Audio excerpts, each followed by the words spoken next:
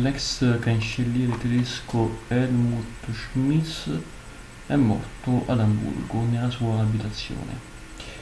Il suo medico personale non aveva ormai più speranze, nel primo pomeriggio la notizia si stava diffondendo a macchia d'olio nella Germania.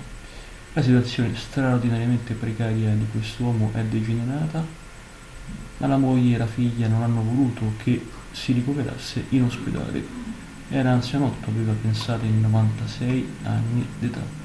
Fu cancelliere tedesco dal 74 all'82. Le sue condizioni erano diventate sempre più gravi, soprattutto nelle ultime ore. L'ex politico dell'SDP, SPD, scusate, era stato operato agli inizi di settembre per un trombo a una gamba. Aveva lasciato successivamente l'ospedale per suo desiderio, come affermato dai medici in quella occasione. Vi ringrazio per l'ascolto, il video termina qua, Helmut Schmitz riposa in pace, amen.